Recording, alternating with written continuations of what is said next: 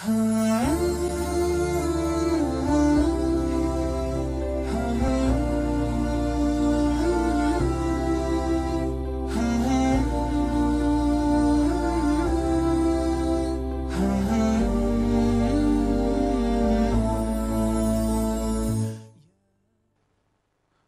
алейкум урматтуу замандаштар. Кайрадан сиздер менен рамазан арулуктун айы аттуу түз эфирдеги сабагыбыз аркылуу көрүшүп жатабыз. Бүгүн сиздер менен буюрса ушул орозонун хикматтары сырлары анын пайдалары туурасында сөз кылмакчыбыз. Аллах таала ар бир нерсени буйрукту бергенде сөзсүз анын артында инсан үчүн маанилүү бир хикматы бар десек болот. Орозону да алла таала буйруусунун бирден бир себеби эң биринчи инсанга адамзатка момунга ушул сабырдуулукту үйрөтүү. Инсан баласы өтө алсыз жаралган өтө шашкелең жаралган. Курандын аяттарында да буйрат инсан өтө шашкелең жаралган дейт. Ошол шашуучулук менен шашкелеңдиги менен инсан көбүн эсе адашууга дуушар болот. Ал ажалату мина шайтан деп пайгамбарыбыз саллаллаху алейхи вассалам буйруган ушу шашылуу бул шайтандын иши дейт шайтан дайыма инсанды шашылтууга адаштырууга аракет кыла турган бир зат болуп эсептелет керек болсо инсандын ушул каны менен айланып инсанды азгырууга аракет жасайт пайгамбарыбыздын куттуу бир хадисинде ошондуктан буйрулган инна шайтана яжри мин ибни адама мажрад дами шайтан адам баласынын каны менен кошо айланат элибизде кызыл кандуулук деген сөз бар. Ушул ачуу калдырып кызыл кандуулукка алдырыптыр деп ошонун натыйжасында үй бүлөсүнө залакасы тийип калган учур досуна залакасы тийип калган учур ата энесине деги эле ушул кызыл кандуулук кээде оор бир кесепетке дагы инсанды дуушар кылып кое турган себептерден экен. Мына ушул сабырдуулукту үйрөткөн рамазан орозо кармоо бизге чоң бир хикмат экендигин айтсак болот экен. Ошондой эле коомдун ичинде бузукулук ыймансыздык уятсыздык жарыяланып өсүп өнүгүп бул кадыресе көрүнүш болуп калганда дагы ар бир адам бузулат ар бир коом кыйрайт. Кыйроого жок болууга дуушар болот. Ал эми рамазан айында алла таала орозо кармоо менен ошол уятсыздыктан өзүн сактоону бизге үйрөтүп атат. Көздүн зынасынан бизди сактоону үйрөтүп атат алла таалага ушул шүгүр келтирүүнү орозо бизге үйрөтүп атат десек болот экен орозо кармоо менен коом жамандыктардан оолак болуп жакшылыкка карай бет алып өзүнүн тарыхый ушул өмүрүн дагы узун сактап калууга мүмкүнчүлүк алат экен себеби алла таала коомго ар бир элге каалоону ираданы өздөрүнө берип койду аллах таала аяты каримада бул туурасында да буйруган астауду билля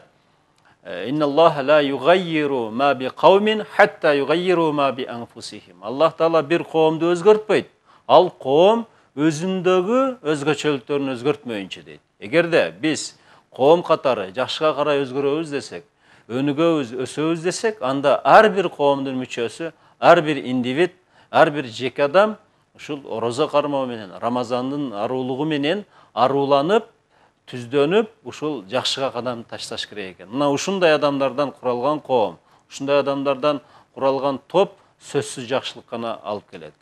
Айтор пайгамбарыбыз саллаллаху алейхи вассалам айткандай чыныгы момун чыныгы мусулман тилинен колунан зыян келбеген адам бүгүнкү күнү инсандар көбүнчө тилинен бири бирине өтө көп зыяндарды алып келип койгон учур қолынан көп зияндарды алып келген алып қалып келген учур мына ұшыларға дава қатары бұл рамазан орозо чоң бір ә, мектеп екен аллах таала Бақара сүресінің 183. сексен аятында буйрулду буйурду астауду я юхалладина аману кутиба алейкум сияму кама кутиба алалладина мин кабликум лааллакум таттакун эй имандулар!» силерге орозо фарз кылынды силерден мурдагы коомдорго дагы фарз болгондой дейт христиан коомчулугу иудейлердин коомчулугу асмандан келген ошол асмандык диндер деп айтабыз алла таала китеп берген пайгамбар берген жиберген диндерди асмандык диндер дүйнөлүк асмандык диндердин ар биринде орозо бар экен ал эми ислам дининде дагы куран аркылуу орозо фарз болгондугун алла таала бизге айтып атат бир максатты аяттын аягында айтты лааллакум таттакун өзүңөрдү коргойсуңар жамандыктан сактанасыңар ушул аллага каршы болуудан өзүңөрдү коргойсуңар дегенге орозо өтө чоң даба экендигин айтып атат эми урматтуу мекендештер орозо ошол эле учурда бизге тозоктун отунан сактай турган калкан экендигин пайгамбарыбыз буйруп атат куттуу бир хадисинде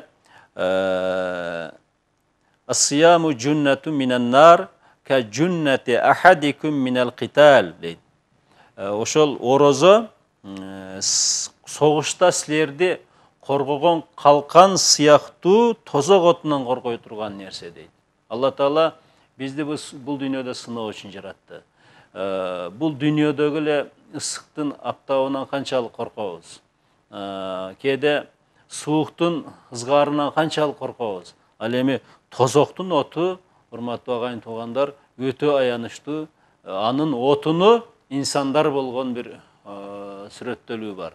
Мына ошол тозок отунан коргой турган бизди тозок отунан сактай турган калкан бул орозо экен орозо экен ошол эле учурда орозо инсандарды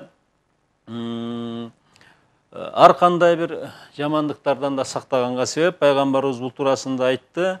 Буюрду бир куттуу хадисинде ассияму джуннатун фала ярфус вала яжхал ва инимруун каталаху ау шатамаху фальякул инни саимун марратайни орозо бир калкан орозо калкан силер орозо болуп туруп ошол билбей башкаларга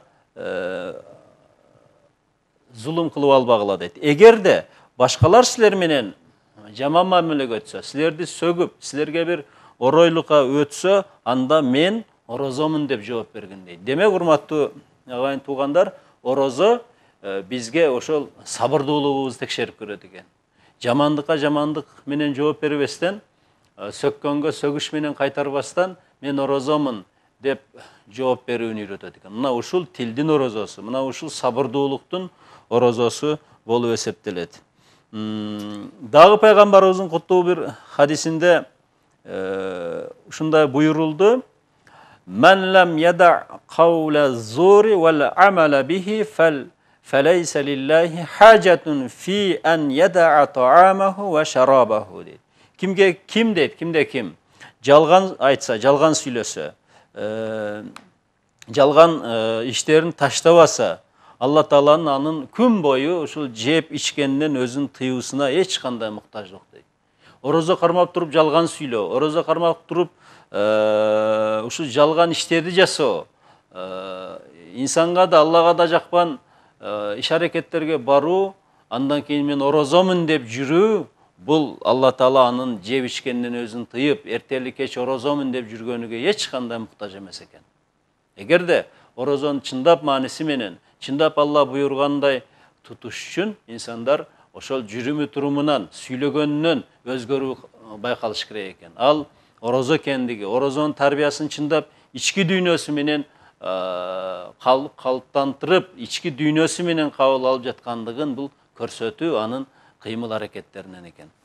Деги эле курани каримде алла таала ушундай буйурду я юхалладина аману дейт эй иман келтиргендер эй момундар эй мусулмандар эй мен момун мусулманмын дегендер деп атат лима такулуна ма ла силер өзүңөр жасабаган нерсени үчүн айтасыңар дейт демек алла таала бизге ошол айткан менен иштин турмуштун айкалышын бизден талап кылып атат айкалышын бизден күтүп атат мына ошол жол ошол жолдун тарбиялоочусу албетте рамазан рамазан ичине куттуу орозо касиеттери деп айтсак болот экен биз түз байланыштабыз сиздерден кайра эле суроолорду дагы кабыл алып баарлашабыз азыр сурообуз бар экен кабыл алайлы алло саламатсызбы саламатчылык айта бериңиз розаңыз кабыл болсун рахмат рахмат.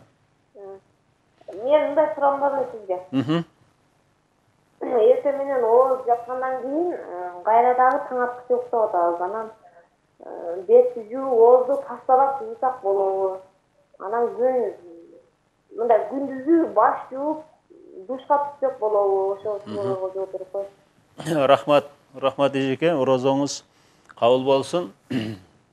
Эртең менен азыр мисалы ош шаары боюнча календарда э, үчтөн жыйырма тогуз өткөндө оозду бекитип саарлыкка туруп имсак кылып атабыз. Э, сооптуусу кайра кайра айтып эскертип турабыз ошол убактысын мүнөтүн күтпөстөн эртерээк оозду жапкан деле өтө сооптуу болуп эсептелет. Ооз жапкандан кийин албетте азан убактысы кирет. Азан убактысы киргенден кийин э, дааратты алып намаз окуп андан кийин э, жатса болот эс алса болот анда эс алгандан кийин бет башты жууп э, душка түшсө да болот. Болгону этияттык кылыш керек. Ооз мурундан кулактан ошо сууну киргизип жибербегенге ката жолу менен эгер суу кирип кетсе анда ошол бир күндүк казаны кармап беришке туура келип калат ошолорго гана этият болуш керек ансыз ошол жуунганда душка түшкөндө эч кандай ооз ачылбайт арада намаздан эртеңки намазды окугандан кийин бир мүмкүнчүлүк болсо бир аз уктагандын да эч кандай бир тоскоолдугу жок урматтуу эжеке рахмат сурооңузга пайгамбарыбыздын хадистери алкагында кайра эле улантайлы сиздерден байланышка түз жооп беребиз бул арада Э, пайгамбар саллаллаху алейхи вассалам буйурду рубба саимин лейса лаху мин сиямихи иллал жуу ва рубба каимин лейса лаху мин киямихи илля сахар Э, канчалаган орозо кармагандар бар мен орозомун дегендер бар. Э, бирок алардын насиби ач калуу гана ачка жүрүү гана дейт андан башка эч кандай бир жакшылык насип албай калат дейт суусуз ачка жүрүү гана насиби болуп калат дейт канчалаган намаз кылгандар бар түнү бою намаз кылган түнү туруп намаз кылгандар бар бирок алардан намаздан алган насип болгону уйкунан калып түнү тургандыгы эле калат дейт бул жерде пайгамбар э, өтө маанилүү бир нерсеге токтолуп атат эгерде э, чын ыкластан чын жүрөктөн ошол кармаган орозо сизге тарбия берип сизди ички дүйнөңүздү жакшылыкка бурбаса ал орозонун пайда жок ал болгону ачка жүрүүдөн гана ибарат Э, врачтарга э, диета кылгандай эле бир абалдан ибарат болуп калат эгер намаз дагы э, ошондой чын ыкластан алладан бир аллах менен байланышып атам аллага мен кайрылып атам деген чын ниеттен байланышуу болбосо намаз дагы түнкү намаз дагы турган эле уйкунан калган эле болуп калат. Ал эми жан дүйнө менен берилүү аллага чын ыкластан ишеним менен кайрылуу чын ыйман менен аллага жалбаруу ошондо гана розонун касиети болот экен ошондо розонун күтүлгөн сооп берилет экен ошондо намаздан дагы күтүлгөн сооп берилет экен эгерде күтүлгөн соопту биз алабыз десек анда инсан эң биринчи чоң күнөө болгон жалганчылыктан калпычылыктан оолак болуш керек жалганга күбөлүк бергенден оолак болуш керек гыйбат кылгандан оолак болуш керек фитна бузукулук кылгандан оолак болуш керек алдамчылык кылгандан оолак болуш керек жаман сөздөрдү сүйлөгөндөн оолак болуш керек. Туугандык карым катнашты үзгөндөн качыш керек. Кайра барыш керек карым катнашты бекемдеш керек. Келишкен келишимин бузуудан оолак болуш керек. Э, ошол эле учурда э, алуу сатуу соодасында бек болуш керек. Мына ушулардын баардыгы инсандык мамилелер. Инсандык мамилелер. Сиз жана чөйрө сиз жана инсандар. Мына ушуларда сиз түздөнсөңүз анда сиздин намазыңыз сиздин орозоңуз сиздин мектебиңиз сиздин устатыңыз сизге таасир берип атат бизге кайра байланыш бар кабыл алайлы Мхм. алло айта бериңиз Аха. салам алейкум алейкум ассалам розет кабыл болсун рахмат менин бүттө чогонум бар эди Мхм. нафыл розаларды кайсы ойлорду tutsa болот Мхм.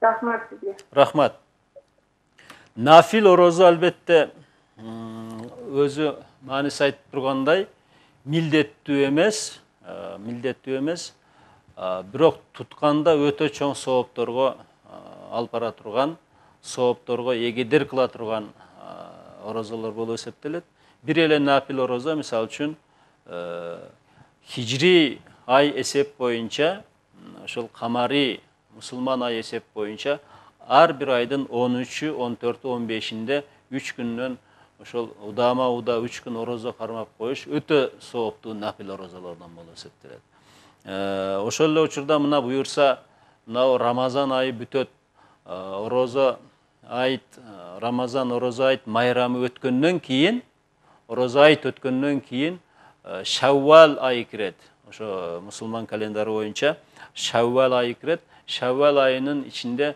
алты күн орозо кармап койсоңуз бул рамазан орозону да кармагандан кийин мындан кийинки шаввал айынан алты күн нафил болгон орозону кармап койсоңуз жыл бою орозо кармаган менен ушу барабар тең соопко жетишет экен мына ушундай нафил орозолор бар урматтуу эжеке рахмат. Кийинки суроону кабыл алайлы айта бериңиз алло саламатсызбы саламатчылык тогуз айлык балам бар эле орозо кармаса болобу эмизсе рахмат рахмат. Сиз каерден чалып атасыз? Аты жөнүңүздү айтып коесузбу ош шаарынан атыңыз ким фатима. Рахмат. Рахмат. Рахмат. Эгерде балага зыян келип калса анда кармаганга болбойт зыян келбей балаңыз тоюму жакшы эле болсо ага кошумча дагы башка тоюмдардан берип турсаңыз анда зыяны жок болгону сиз ошол врачыңыз менен кеңешишиңиз керек. Өзүңүзгө жана балаңызга болгон ошол зыяндуулукту караш керек. Негизи балаңыз ошол кыйналып калбаса балаңыздын ден соолугу өтө маанилүү. Эгер андай врачтар жол бербей өзүңүз аны байкап турсаңыз анда кийин казасын кармап бересиз андай болбосо анда кармасаңыз болот врачыңыз менен кеңешкенден кийин тыянакты чыгарышыңыз керек деп айтабыз урматтуу агайын туугандар биз сиздерден келген суроолорду эми бир аз атыңызды да тактап кабыл алабыз себеби мына орозо бою биз чыкканда маанилүү суроолорго бир китеп белек катары берүүнү максат кылдык. Мисалы бүгүнкү белек китебибиз куран сүрөлөрүн үйрөнөбүз куран сүрөлөрүн тааныйбыз деген китеп бар. Ушуну мисалы бүгүнкү сабакка катышкандардын ичинен атын айтып каерден экендигин жарыялап ушул ош бирим телерадио компаниясынан келип алып кетүүгө мүмкүнчүлүгүңүз бар. Ошондуктан эсиңиздерге салып коелу рахмат кийинки байланышты кабыл алайлы алло. Саламатсыздарбы саламатчылык орозо тутканда озого суу алып айрылдатып төгүп салса орозо ачып кандай болот сууну чалкалатып чайкаса э? Ошондойбу ооба озго сууду алып чалкалатып чайкап төгүп таштаса ачылабы жокпу деген. Ооба рахмат. Эжеке сурооңузга рахмат. Орозо адам мүмкүн болушунча дарат алганда ошо сууну тамакка кекиртеге карай чалкалатпаганы дурус болот ал эми орозонун сырткы убактарда ошо чалкалатып дарат алганына сооптуулугу бар. Бирок орозодо ошентпегенге аракет кылыш керек. Себеби дегенде эгер ошо чалкалатканда эле ооз ачылып калбайт эгер чалкалатып сууну оозуңузда чалкалатып чайкаганыңызда кандайдыр тамчы суу кекиртектен ары карай өтүп кетсе анда ооз ачылып калат ал өтүп кеткени сизге байкалыш керек сизге билиниш керек ошондо ооз ачылып калат ошондуктан этияттык дайыма жакшы дарат алганда ошол оозго үч жолу суу алып чайкалабай эле койсоңуз деле ошондо сүннөттү аткарып аткан болосуз рахмат кийинки суроо бар кабыл алайлы айта бериңиз апа ол телевизорго барып турмун эми звонок кылсам телевизор бар сиз угулуп атасыз айта бериңиз суроо алло айта бериңиз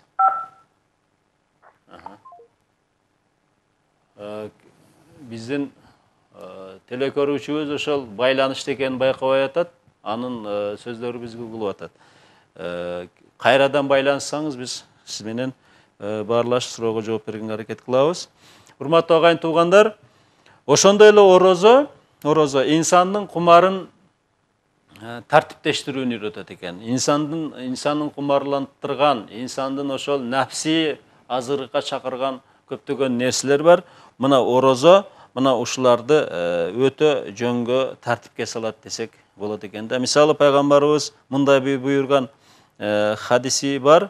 Men istata'al ba'ate felyetezevveç fe innehu agaddu lil basari ve ahsenu lil farci ve men lem yestati' fe aleyhi bis savm fe inne lehu vica'enni. Bu hadisi Çeşmeli Vaytu'da burada Suro'nu kavlalaylı biz uvatavız. Алло, саламатчылык.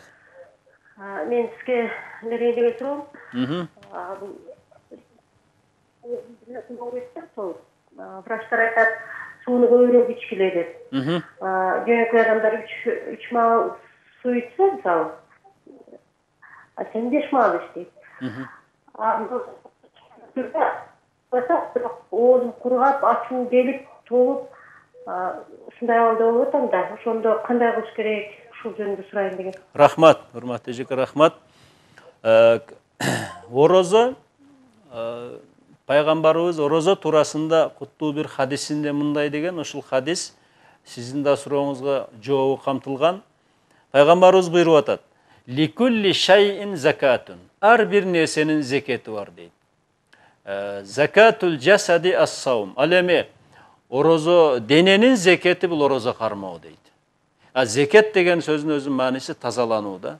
Сіз егерде жылда бір э, жолы келген 11 айдың ең сооптуу султаны болған Рамазан айында жылда бір 30 күн орозо же 29 күн орозо кармап берсеңиз, сиз денеңизди тазалаган болот экенсиз. Инсандын э, денеси дагы албетте тамак азык жегеннен э, кээде э, кыйналат. Ошону а- ал кылуудан кыйналат, чарчайт. Ал орозо мына ушундай эс алдырууга мүмкүнчүлүк болот экен да. Пайгамбарыбыз ошондуктан орозо кармагыла денеңер сак болот дейт. Э, Сиз айткан албетте орозонон кийин Рамазан айынан кийин андан кийин денеңиз эс алгандан кийин кайра ошо туура айтып атасыз сууну көп ичип 3 литр 5 литрден э, суу ичкиле деген де- инсандын организми өтө сууга муктаж. Инсандын денеси өтө көп көлөмдө сууну өзүнө камтып кармап турат. Ошондуктан аны азайтпай суу менен камсыздап туруш өтө зарыл. Бирок орозонун касиети башка. Ал Аллахтын ыраазычылыгы жана бул дененин да эс алдыруу. Ошол ниет менен болсо сизге орозодогу суу сагандыгыңыз эч кандай бир зыян алып келбейт. Кайра сиздин ден соолугуңуз чыңдайт да. Мына ошого ишенимиңизди бекем кыла бериңиз. Кийинки алайлы. Мгм. алло Ооба, угулуп атасыз, айта бериңиз. саламатсызбы Саламатчылык. орозоңуз кабыл болсун Рахмат. менин эки суроом бар эле биринчи суроом баягы тахажжуд намаз жөнүндө беш убакыт намаз окуйм Ооба. анан э, тахажжуд намазын кайсы фарз сүннөттөр канча окуш керек ошол тууралуу Рахмат. анан экинчи суроом э, баягы каза намаз жөнүндө мен кечээ иш менен болуп таамдатты окуя албай калдым ошону кайсы убакытта окусам болот? Атыңыз ким? Каерден чалып атасыз? ош шаарынан атым даркан Дархан? даркан б Рах, Дархан, рахмат сізге. Хош. Мхм. Э, рахмат э, тахаджуд намазы лайла э, салатул лайл дейт ошо түнкү намаз урматтуу эжеке түндүн үчтөн бир бөлүгү акыркы бир бөлүгүндө куфтан намазы окулгандан кийин э, туруп дарат алып эки рекет төрт рекет сегиз рекетке чейин бөлүп окусаңыз болот ошол тахаджуд намазы деп ниет кыласыз кадимкидей эле э, калыс аллах үчүн жүзүмдү урдум кыблага деп ниет кыласыз анан э, кадимкидей анын кырааттарын окуп рүкү саждага барып э, каадага отуруп башка эле сүннөт намаздардай толугу менен эки рекет төрт рекет алты сегиз рекетке э, чейин ушул окуп э, окусаңыз ошо тахаджуд намаз болот ошо түнкү намаз ошону да дуа кылып кудайдан көп көп тилеп жалгыз э, окугандыгыңыз үчүн аяттарын ошо зам сүрөлөрүн узун узун окусаңыз да өтө сооптуу мына ошол тахажжуд намаз болот алла таалам ошол кулдарым түнү уйкунан калып менин ыраазычылыгым үчүн жакшылыкты менден сурап э, намаз окуп ибадат кылгандарды мен соонун берем дегенде алла таала мына ушундай ага жакшылык анын сураганын бербей койгонуна мен уялам дейт да. Карасаңыз ошон үчүн тахажжудтун сообу өтө көп ошентип окусаңыз аллах кабыл кылсын намазыңызды кийинки сурооңуз каза намаз каза намаз эгерде убакыты кирген намазды өз учурунда убакыты чыгып кетерден мурда окуганга жетише албай убакыт өтүп кеткен болсо анда казага айланып калат каза намаз кийинки убакыттарда окула берет кайсы гана учурда болсо окула берет болгону күн чыгып атканда күн чак түш болуп төбөгө күн тийип турганда күн батып атканда каза намаз окулбайт мисалы үчүн орозо айт күнү намаз орозо айт күнү оозуңуз ачык болот каза окула берет Э, мына ушундай үч убакытта гана окубаш керек каза намаз андан сырткары каза намазды окуйсуз болгону ниет кылганда э, ошо кайсы намаз экендигиңизди э, тактап ниет кылганыңыз жакшы акыркы ушу бешим намазынын казасы деп айтсаңыз болот же эң биринчи бешим намазынын казасы деп айтсаңыз болот себеби каза намаз инсандарда өтө көп болот көп жылдык казалар бар ошолордун иретин тактап калыш үчүн сактап калыш үчүн акыркысы же эң биринчиси десеңиз ошентип азайып бара берет да мына ушундай урматтуу эжеке сиздин сурооңузга рахмат кийинки байланыш бар кабыл алайлы. Алло, угулуп атасыз айта бериңиз саламатчылык менин суроом мындайча. Орозо кармаган убакта бир жериң кесип алып канап кетсе, же мына күн ысыктын айынан мурдуң канап кетсе, ошондо ооз ачылып калабы? Анан экинчи суроом мындайча, өз балаңы өп койсоң да ошодон ооз ачылабы же бирөө менен көрүшкөнүңдө, өбүшүп көрүшкөндө? Рахмат. Эжеке сурооңузга рахмат. каерден чалып атасыз? Ош шаарынан. Атыңыз ким болот? Айгерим. рахмат рахмат. Э, урматтуу эжеке рахмат сурооңузга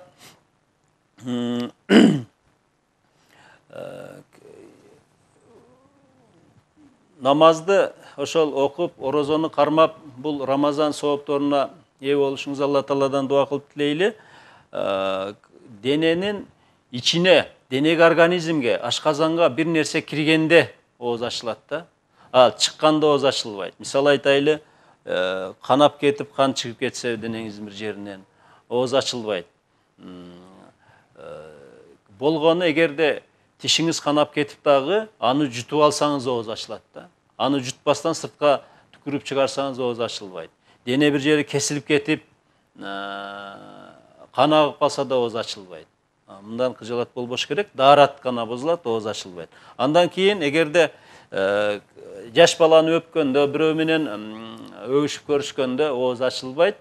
Ооз качан ачылып калат А, эгерде жубайлар арасында эркек аял ортосунда кумарлануу менен ошондой өбүшүүгө жол берилсе анда ооз ачылат кумарлануу дегенде ошол э, башка бир сезимдер менен кумарланып андан кийин бир э, уруксат четиңнен чыгып кеткен учурда ооз ачылат андан андан сырткары кадыресе эле жаш баланы жыттап өпкүлөнгөндө эч кандай ооз ачылбайт Э, буга камтама болбоңуз рахмат. Кийинки суроого кабылдайлы Мхм. айта бериңиз угулуп атасыз Саламатсыз? саламатчылык Орозо майрамыңыз рахмат рахмат сизге дагы мен мен суроом мындай да тө- төрт күн тутуп анан бүгүн бешинчи күн ооз ачып алдым башым оорупчу Мхм. анан эртең улантып кетсем болобу Э, рахмат. Каерден чалып атасыз? Ош шаарынан атыңыз ким болот? Алтынай. А, рахмат эжеке Э, эгерде ушул орозо кармап мына төртүнчү күн болгондо башыңыз өтө ооруп кыйналган болсоңуз ал ачып алыпсыз ал ошол оорулуулук себеп болуп эсептелип атат. Эртеңнен кадимкидей эле ниет кылып орозону уланта бересиз Э, сөзсүз врачка барып карадыңыз себеби орозо э, сиздин ден соолугуңузга өтө оор келсе анда ал ден соолугуңуз чыңдагандан кийин кармап бересиз казасын. А кечээги күнгө ачып алганыңызды бүгүнкү ачып- күнгө ачып алганыңызды сиз орозо айт майрам өткөндөн кийин ошол бүгүнкү күнгө бир күнгө казасын кармап бересиз. Ага буга да себеп ошол куран айтып атат бизге. Кимде ким сапарга чыгып калса кимде ким ооруп калса ошол күндөрдө ооз ачык болот анын казасын кийинки рамазан фарз орозо бүткөндөн кийинки убакыттарга кармап берет дейт сизге дагы ушундай сөзсүз врачка текшеринип алыңыз ошол дагы осы насаат катары айтайын сизге кийинки байланыш болсо кабыл алайлы салам алейкум алейкум ассалам менин суроом орозо учурунда кан донор болуп кан берсе болобу жана мусулманчылыкка ошондой туура келеби кан берүү э рахмат сизге дагы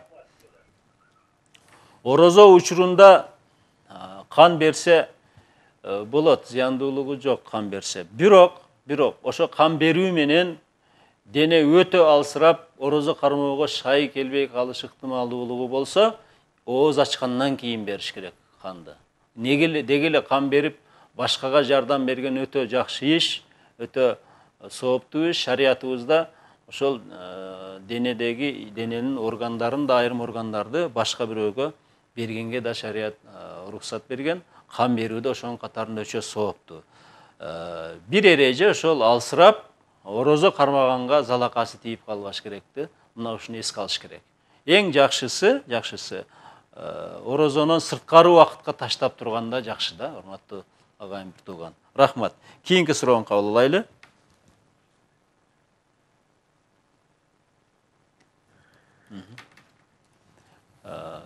Бизге техникалык байланыш болбой атат үзүлүп улантайлы сабагыбызды сиздерден келген суроолорго да жооп беребиз пайгамбарыбыз саллаллаху алейхи вассаламдан дагы бир куттуу мындай бир хадис буйрулган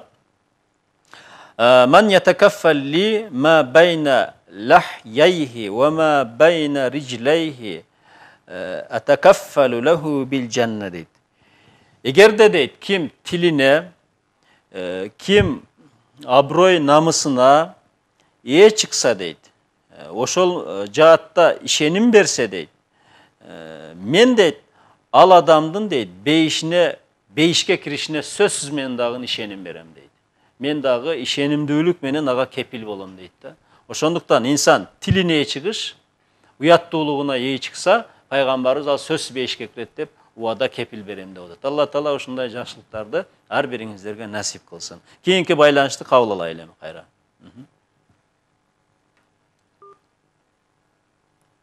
кайрадан техникалык себептерден улам болуп атат үзүлүп калып атат байланыш кайра байланышканга аракет кылыңыз биз жооп беребиз пайгамбарыбыздын кийинки хадисин да айтайлы ушундай буйурду Мән вақаху Аллаху шарра ма бәйна лахьяйхи ва шарра ма бәйна риджлейхи дахалал жанна. Алла Таала дейді, кімді дейді, тілінің дені, жана жыныстық мүшелерінің дейді, жамандығынан қорғоса дейді, ал сөзсіз бейішке кіреді дейді. Ошондықтан біз алла тағалаға көп сұранып жалбарып сұранышымыз алла тағалам ушу менин тилимдин жамандығынан қору деп инсан көбүнчө тилинен кеткен кыйынчылыктан тилинен болгон азаптын тилинен болгон бир дартты кыйынчылыкты тартат экен да ошо тилге ээ чыкса жыныстык органдарына ээ чыкса анда алла таала коргогон алла таала аны сөзсүз бейишке жиберет ушинтип аллага көп тилеп дуа кылайлы кайра байланышты кабыл алайлы айта бериңиз угулуп атасыз айта бериңиз азыр эле суроо бердим эле тахажжуд намаз жөнүндө атым даркан оштон тахажжуд намазын сүннөт менен окуш керекпи же фарды кошо окуш керекпи ошону түшүнбөй калдым рахмат. Тахажжуд намазы жеке өзү сүннөт нафил деп атабыз нафил деген бул сүннөт болуп эсептелет өзү ошол фарз эмес тахажжуд намазы ошондуктан тахажжуд намазды ниет кылганда нафил намазы болгон тахажжуд намазын окууга ниет кылдым деп ниет кыла бересиз ал сүннөт болуп эсептелет окуганга баардык адам окуганга милдеттүү эмес окубаса күнөөкөр болбойт күнөөкөр болбойт ал эми окуса өтө чоң соопторго ээ болот алла таалам тилегин берет жакшылыгын берет ошондуктан аны фарз деп адаштырбайлы фарз намаз бул беш убакыт намаз эртең мененки баамдат намазына эки ракат фарз бар бешим намазында төрт ракат фарз аср намазында төрт ракат фарз Құф- шам намазында үч рекет фарз анан эми куфтан намазында төрт рекет фарз бар ушулар фарз намаздар. Андан сырткары намаз намаз болгон ошо сүннөт сүннөт ошол муаккат сүннөт пайгамбарыбыз дайыма кылып жүргөн сүннөттөр бар ал ошо беш убакыт намаздагы алды артынан кошулуп окулган сүннөт намаздар. Ал эми бул тахаджуд намазы истихара намазы деп жана башка намаздар булар баардыгы нафил намаздар бул да сүннөт намаздар пайгамбарыбыз муну окугандыктан бизге сүннөт катары нафил катары эсептелет фарз деп адаштырбашыбыз керек рахмат сизге Э, урматтуу агайын туугандар э, орозо орозо чындап эле адам баласыга каалоосун эркин тарбиялай турган бир мектеп деп айтсак болот бул мектептен өтүш үчүн жогоруда айтылгандай сабырдуулукка гана алла таала бизди чакырып атат да. Сабырдуулук менен бул мектептен ийгиликтүү өтөсүңөр деп атат. Мына ушул ийгиликтүү өтсөңөр бул рамазандан кийинки рамазанга чейинки бүт бул рамазандан мурдакы рамазанга чейинки ошол күнөөлөрдүн э, кечирилишине э, себеп болот экен. Э, алла таала шариатты бизге өтө жеңил кылып койду. Жуманан жуманы окусаңыз ар жуманын арасындагы кичинекей күнөөлөр адам өлтүргөн зына кылуу жалган айткандан сырткары кичинекей күнөөлөр бул кечирилет да ал эми к- бул рамазанды кармоо менен бул рамазандан мурдагы рамазан арасындагы күнөөлөрдүн дагы кечирилишине чоң бир мүмкүнчүлүк табат экенсиз ал эмне менен? Ал сабырдуулук менен. Алла таала аятта ошондуктан айтып атат бакара сүрөсү бир жүз элүү үчүнчү аятта буюрду астауду билля Айюхалладина аману стаину бис сабри вассала. Инналлаха маас сабирин. Эй имандуулар, Аллахтан жардам сурагыла. Сабыр менен жардам сурагыла. Сабырдуулук менен жардам сурагыла жана намаз окуу менен жардам сурагыла дейт. Алла Таала сөзсүз сабырдуулар менен бирге. Инсан баласы бул жашоодо көптөгөн кыйынчылыктарга дуушар болот. Бул жашоонун тайга кашуулары бар, мүдүрүлгөн мүдүрүлгөнгө себеп болгон таштуу жолдор бар, ар кандай э, сыноолор бар. Мына ушуларды сабырдуулук менен жеңсеңиз, сабырдуулук менен гана күрөссөңүз, Алла Таала анда сизге жакшылыгын берип атканы ошол. Ошо сабырдуулук, каниеттүүлүк сизге берип аткандыгы сиздин ийгилигиңиз, сиз сөз максатыңызга жетесиз. Болгону ал убакыт менен, сабырдуулук менен барышыңыз керек экен. Пайгамбарыбыз дагы хадисинде буюрду: "Ас-сияму нисфу сабр." Орозо бул сабырдуулуктун жарымы деп атат да. Вассабру дияун. Ал эми сабырдуулук бул э, нур, чырак дейт. Сабырдуулук бул нурдуулук. Сабырдуулук бул жарыктык. Сабырдуулук алдыңызды жарыткан чырак дейт. Мына ушуга теңеп атат экен. Алла Таала ар бир инсанды ошол сабырдуулук кылгандардан кылсын. Э, Орозо кармаган адам эң биринчи Аллага моюн сунган болуп эсептелет. Орозо кармаган адам андан кийин пайгамбарга моюн сунган болуп эсептелет. Орозо кармаган адам чоң соопко жеткен болуп эсептелет. Э, Пайгамбарыбыздын дагы куттуу хадисинде Алла Таала э, Мүн пайгамбардын куттуу хадисинде ушундай буюрду. Э, Кимде ким ошол э, динди үйрөткөн э, устатты, динди үйрөткөн устазын, аалымды сыйласа, ал пайгамбарды сыйлаган болуп эсептелет. Ал эми кимде кимде ким пайгамбарды сыйласа, э, пайгамбардын айтканын кылып, анын осуятын эске алып аны урматтаса, ал Аллахты сыйлаган болуп эсептелет. Ал эми кимде ким Аллахты сыйласа, Аллахты урматтап, Аллахты жакшы көрсө, анда ал сөзсүз бейишке кирет дейт да. Карасаңыз, биз ар бирибиз, ар бирибиз бири-бирибизге үйрөтүүчү экенбиз. Э, бир сөз үйрөтсөңүз дагы, ал ошол үйрөтүүчү болуп эсептелесиз башкага. Азирети Али ушундай буйруган өзүнүн куттуу осуятында 4 халифа исламга эбегейсиз көп салым кошкон, эбегейсиз чоң эмгегин таштап кеткен халифа Азирети Али айтат, «Э, мен дейт, мага бир тамга үйрөткөнгө 40 жыл кулу болмокмун дейт. Карасаңыз бир тамга. Бул жерде ошону өтө сыйламакмын, аны жакшы көрмөкмүн дейт. Себеби ак менен караны үйрө- үйрөткөнгө ошол үйрөтүүчү аалым себепкер болуп атат экен да. Ошондуктан биз дин адамдарын дин алымдарын канчалык сыйласак алардын да жоопкерчилиги артат экен алардын дагы ошо сизге берген жакшылыгы артат экен сиз дагы алланын алдында сиздин соогуңуз артат экен алымды сыйлаган пайгамбарды сыйлаган пайгамбарды сыйлаган аллахты аллахты сыйлап аллахты урматтап аллахты жакшы көргөн барар жери сөзсүз бейиш экен урматтуу агайын туугандар мына орозо мына ушуга дагы бизди калыптандырат рамазан мына ушундай жаатта бизди аруулап тазалайт экен ошол учурда орозо алла таала берген жакшылыктарга шүгүр кылып ач калгандардын колунда жоктордун да кадырын билүүгө үйрөтө турган бул орозо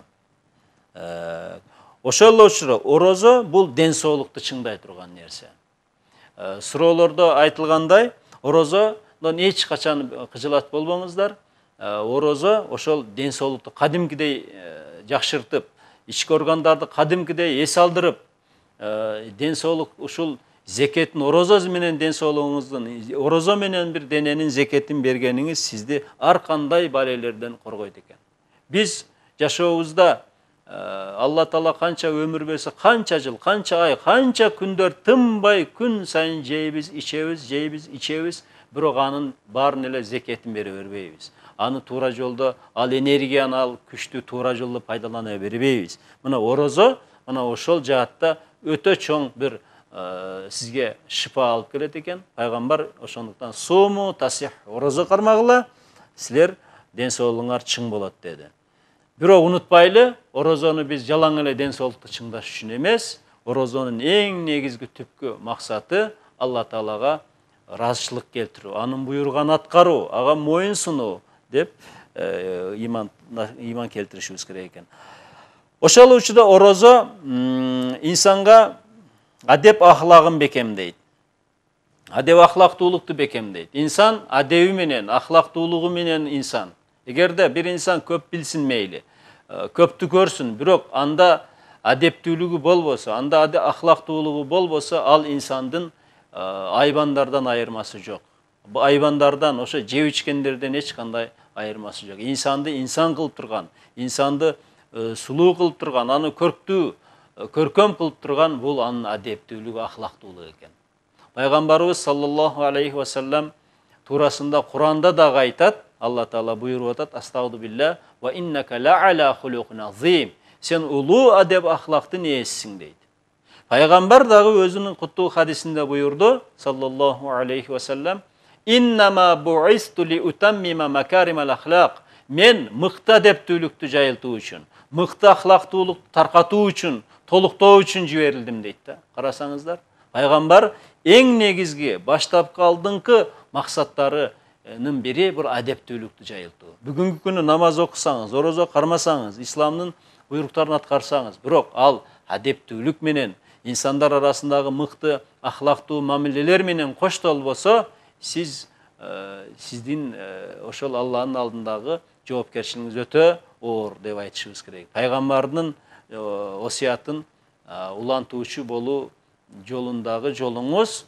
өтө оор деп айтылат да. Ошондуктан келиңиздер биз аз да болсо адептүүлүктү ахлактуулукту жогору коюп ошол илимди адеп ахлак менен коштогондо инсандар арасында жакшы мамиле менен коштогондо сөзсүз алла таалага сүйкүмдүү кул болот экенбиз пайгамбарыбыз бекеринен айтпаган аддин ал муамал дин бул мамиле ал эми мамиле сиздин адебиңизди мамиле сиздин ахлагыңызды калыптандырат экен урматтуу агайын туугандар буюрса орозо ибадаты орозо ибадаты сизге алланын ыраазычылыгын алып бейишке барууга дагы чоң бир өбөлгө экен да алла таала ошондуктан мен мунун соогун өзүм берем деп атат да ибадаттар пенденин өзү үчүн болсо ал эми орозо бул мен үчүн кармап атат орозонун жасаакерлиги кожокөрсүнү жок ал мен үчүн ачка мен үчүн суусуз мен үчүн кармап атат анын соону чексиз чексиз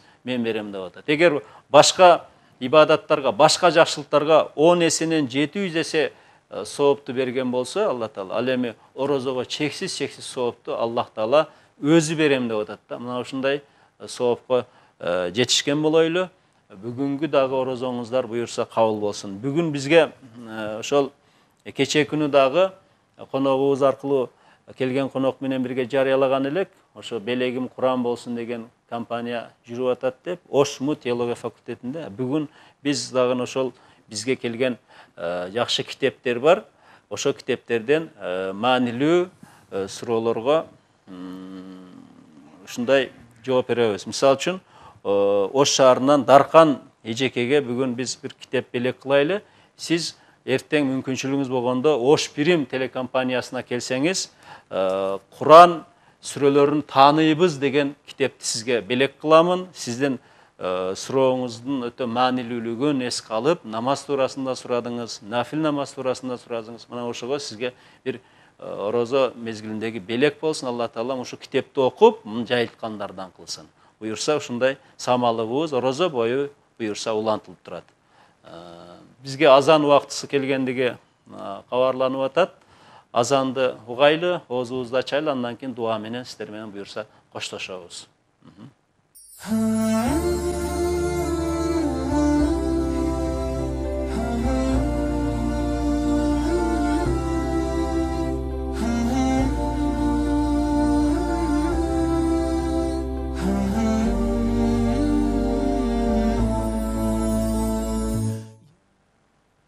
ардактуу момун мусулмандар орозоңуздар кабыл болсун бүгүнгү тилектериңиз дагы ишке ашсын.